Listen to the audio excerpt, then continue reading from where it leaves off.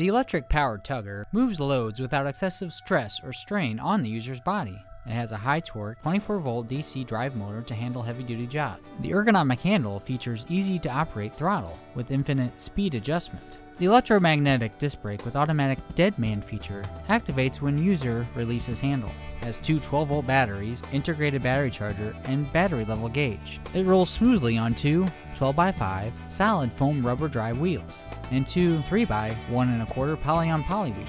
Easy access to battery charger compartment. Horn is also standard. Unit comes fully assembled. Available attachments include adjustable double side hook, adjustable ball mount hitch, spring-loaded manual channel lift,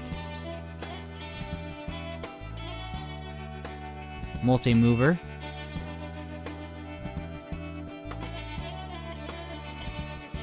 pin hitch,